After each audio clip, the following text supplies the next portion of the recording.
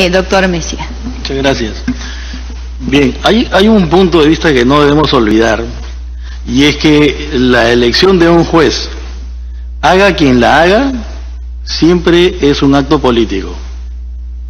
La haga la Junta Nacional de Justicia, o la haga, eh, por ejemplo, como era antes en el sistema de la Constitución del 33, mediante ternas que el presidente de la República presentaba al Parlamento. ¿Por qué es un acto político? Porque el juez tiene que, tiene que decidir sobre la libertad, sobre la propiedad. Entonces, eh, me parece que ese es un punto que, además que con los acontecimientos que hemos estado viendo, del exceso de la prisión preventiva, con jueces supuestamente que están puestos ahí para garantizar los derechos fundamentales, pero hacen todo lo contrario, se convierten en brazos legales de eh, gobernantes, claro, brazos legales brazos legales de gobernantes que no tienen necesariamente una vocación democrática, como desde mi punto de vista la tiene el presidente de la República actual. Entonces, hay que tener mucho cuidado cómo es que se va a armar el diseño de esta junta, porque esa junta va a llevar adelante actos políticos, aunque claro, aparecen como actos administrativos, pero el nombramiento de un juez es un acto político. Ahora, ¿qué hacer, por ejemplo, eh, frente a este avasallamiento, esta suerte de chantaje del, poder, del poder ejecutivo que está haciendo un uso de la, de la cuestión de confianza, ¿no? Me parece que eh, aquí hay que ver cómo es que se moldea de alguna manera, como se ha aprobado la, este, eh, o, por lo menos esta junta de notables tiene la idea de ir a un Senado, este Senado hay que ver de qué forma se convierte en un equilibrio frente a la cuestión de confianza. O podría también, mediante una reforma de la Constitución, eh, otorgarle al Tribunal Constitucional de manera preventiva la posibilidad de que cuando el presidente hackea de este modo al Parlamento, dice, apruébame esta ley. Si el Parlamento cree que esa ley es inconstitucional, entonces que le traslade preventivamente al tribunal, oye, mira, el presidente me quiere, este, quiere que apruebe esta ley, pero yo considero que es inconstitucional. A ver, dime tú. Entonces se pide que el, que el Tribunal Constitucional eh, dirima de tal manera de que puede ser una válvula de escape. O sea, el Parlamento lo que tiene que buscar es fórmulas creativas ahora que, tiene la posibilidad de reformar la Constitución a fin de equilibrar, porque debemos tener en cuenta lo siguiente.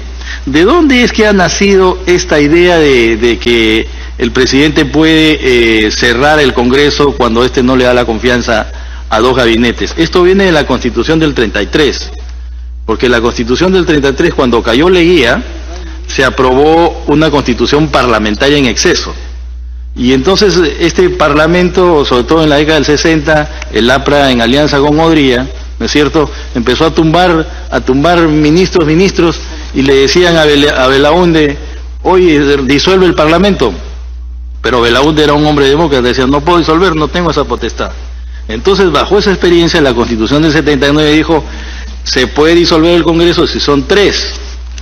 Pero Fujimori, ¿no es cierto?, valga, este, lo bajó a dos. Pero eso también, como ustedes lo están viendo ahora, ha supuesto un desequilibrio. Que, o sea, bajar a dos ha sido darle al presidente de la República mucho más poder sobre el Parlamento. Y claro, los que, cuando se aprobó la Constitución del 93, los constitucionalistas criticaron que de tres se bajara a dos. Y ahora justamente estamos viendo las consecuencias. ¿Por qué? Porque claro, los presidentes, como decía la congresista Lourdes Alcorta hace un instante, ni con un mal hemos vivido esto. Es que el problema es, a veces las instituciones eh, no son necesariamente las que están en la Constitución, sino lo que los hombres hacen de ella. Entonces nos encontramos con un presidente, ¿no es cierto?, que hackea al Parlamento con una institución que ha sido puesta para equilibrar. Entonces me parece que el Parlamento debe en este momento buscar una forma, mediante las reformas constitucionales que puede hacer, para, para poner, eh, para poner un, contrapeso, que podría ser, ah, tú me planteas una cuestión de confianza y que supone la aprobación de una ley, bueno, darle la prerrogativa de la prevención, puede ser al Tribunal Constitucional o podría ser al Senado, ¿no? Con lo cual buscamos un equilibrio. Ahora, yo, e, e, eso es algo que podría ser. Ahora sí creo que, para terminar, eh, a mí sí me parece que este, el Parlamento debe tomar la iniciativa, ¿no? Y esta es una oportunidad para no dejarse plantear su agenda. Entonces, la discusión de estos grandes temas, como son la reforma de la justicia, la aprobación de la ley orgánica del Ministerio Público, es el momento como para que el Congreso ponga en el debate de la agenda y hay algo que no debemos olvidar. Creo que desde, mi punto de vista personal, eh, Pedro, el, fiscal de la Nación, que ya no es el señor Chavarri, yo la verdad que no he visto ningún delito por ningún lado y, lo que ha pasado es simplemente que los medios de comunicación todos los días chavarri, chavarri, chavarri, chavarri. Entonces em, tenemos una democracia donde los medios de comunicación juegan un rol bastante importante, ¿no? Entonces, lo importante también es cómo es que el Congreso, desde un punto de vista político, asume la agenda del país, ¿no? Me parece que e, eso es lo, esencial.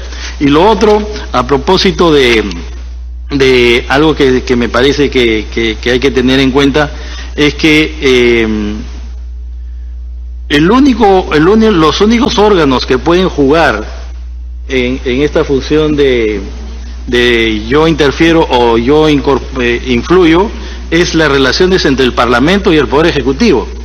Por ejemplo, en el caso del Parlamento, el Parlamento puede censurar, puede interpelar, puede ir estación de preguntas, pero ese, eso se llama control político y el control político tiene una característica, una concepción. ¿Cuál es? Mediante el control político yo te persuado o te disuado. Entonces llamo al ministro, oye, ¿por qué ha subido la leche? ¿Por qué ha subido, por qué ha subido la inflación? Tu política está mal, ¿no? Entonces, eso es, eso es control político, es persuasión. Claro, claro, pero digamos porque hay, hay, lo que pasa es que eh, tiene que haber también un espíritu constitucional, ¿no? Entonces, por el otro lado, está la cuestión de confianza para establecer un equilibrio. Eso en la doctrina se llama political question, o sea, son elementos políticamente no justiciables. O sea, si yo interpelo a un, a un ministro y lo censuro, no puedo ir al Poder Judicial a plantear un amparo.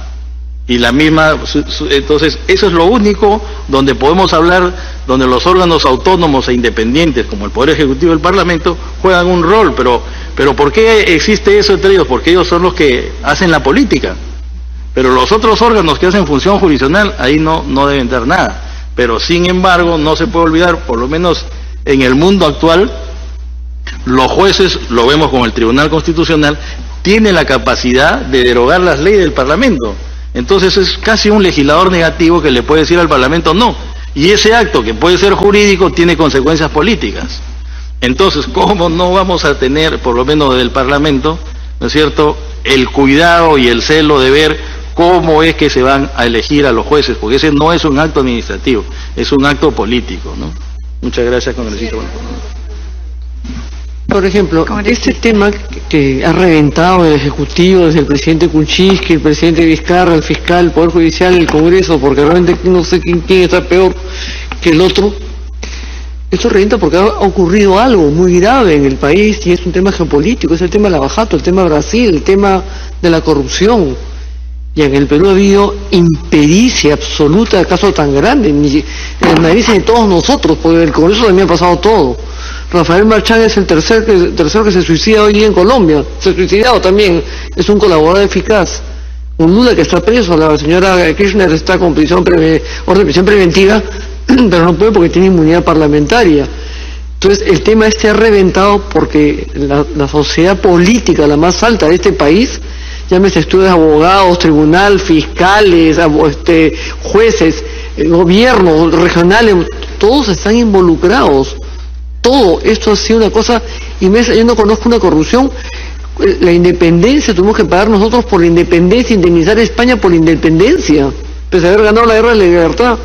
El caso eh, este, Dreyfus, el caso del, del y Salitre, tuvimos que pagar este porque claro pues pedimos por adelantado el caso del de Salitre y entramos pobres a la guerra con Chile. Y esta es la corrupción más grande de la historia de la República. Incontrolable porque todo el mundo está metido en este rollo acá. Entonces es muy fiscal porque todos quieren tapar alguna parte de esto Y acá han habido enormes estudios de abogados que han sido asesores. Y no todo el que ha trabajado para hoy tampoco significa que hayan sido sinvergüenza. No toda la gente que ha trabajado, no toda la gente que estuvo contenido tampoco son sinvergüenza. Una foto tampoco ser sinvergüenza. Pero estamos acá sentados y todo esto ha ocurrido por la enorme, gran corrupción, la más grande de la historia, geopolítica. Todos los países están involucrados. Y estamos en este problema de acá porque los que garantizan eh, justicia, los que, los que acusan, los, todos, de alguna forma u otra, están involucrados. Es un caso infinito. Si ustedes han visto la, película en Netflix, el, no, es, el procedimiento, es este, el mecanismo, el tema es infinito, no va a acabar. Ni en el Congreso, ni el Poder Judicial, ni en la Fiscalía. Muchos intereses de todas las partes. Ese es, la, ese es el drama, el drama, la, la, ópera que tenemos hoy día que delante de nosotros, ¿no? Personalmente les agradezco a todos ustedes, realmente un gran referente, una gran lección el día de hoy. Gracias, congresista Alcorta. La presidencia agradece a nuestros invitados, realmente muy valiosos sus aportes, nos ayudan a tomar decisiones. Quiero destacar que solo Fuerza Popular está trabajando a esta hora de la noche. Y quiero destacar también que esta comisión tiene la voluntad eh, de evaluar los proyectos de ley. Esta no es la primera sesión que tenemos para este proyecto, ya es la tercera sesión que tenemos para este proyecto. Sin embargo, el presidente eh, de la República no se da cuenta y sigue insistiendo en que la comisión debe trabajar. Debería enviar a sus congresistas, así como los congresistas de las otras bancadas, deberían estar aquí trabajando. Esto lo dejo como constancia porque permanentemente hay un ataque especialmente a esta comisión, porque dicen que tenemos encarpetados los proyectos. Eso lamentablemente forma parte de la realidad paralela que nos están haciendo vivir en este momento. Eh, les agradecemos nuevamente y los invitamos a retirarse cuando les sigan perdiendo. A los señores miembros de la comisión no se retiren todavía, por favor. La sesión no ha terminado. A los invitados. A los invitados.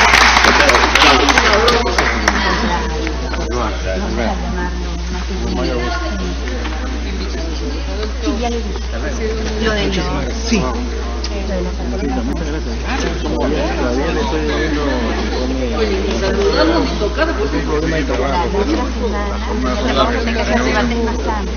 Un placer estar. Un gusto verla. Vamos juntos.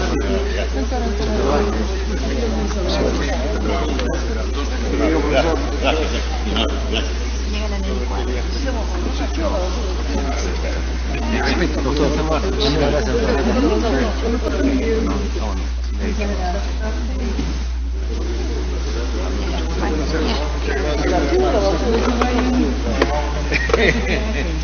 Voy a hacer de cuenta que están en el para regularizar nomás, pues.